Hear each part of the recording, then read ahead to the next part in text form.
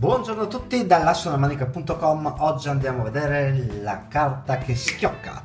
È un gioco di ritrovamento piuttosto classico dove però userò una nuova tecnica sia per la dispersione sia per il ritrovamento della carta. Il gioco come tanti altri giochi si presenta alla stessa maniera.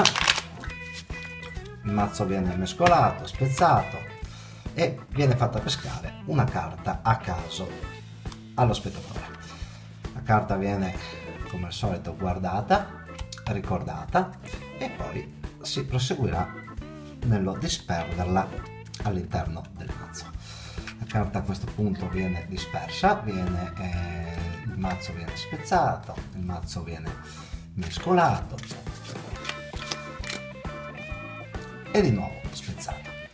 A questo punto eh, si andrà a una ricerca di tipo tattile. A, a tatto andremo a cercare la nostra nuova carta. Queste no, no, queste no, questa niente da fare. Queste no, queste no. Questa no, no, forse questa, no, neanche questa,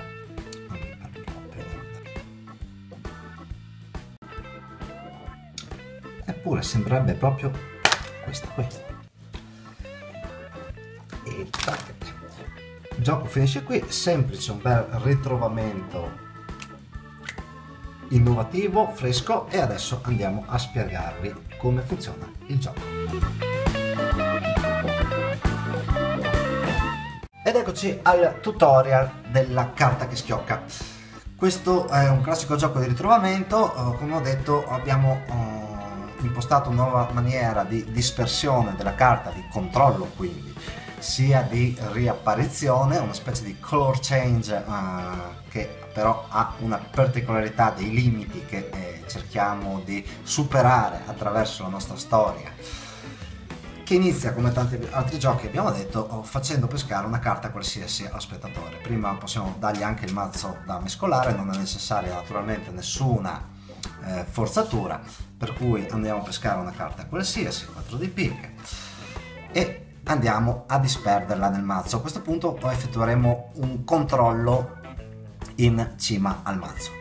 Il controllo che ho usato io è una dispersione attraverso il ventaglio, la carta viene eh, richiusa e con un colpo del polso viene portata leggermente in, in jog, come potete vedere, in maniera tale che nel momento in cui andiamo a richiudere il mazzo possiamo porre un break appena sotto la carta, dopodiché con un triplo taglio andremo a portare la carta sul fondo e con un miscuglio nel cavo della mano avremo finalmente la carta in cima.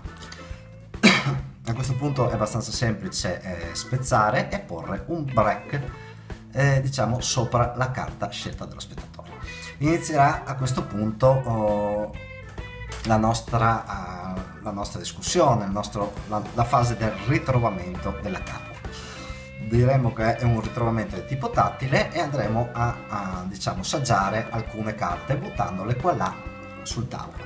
Ora visto il tipo di color change che vi andrò a proporre questa fase in realtà non è eh, superflua ma è necessaria.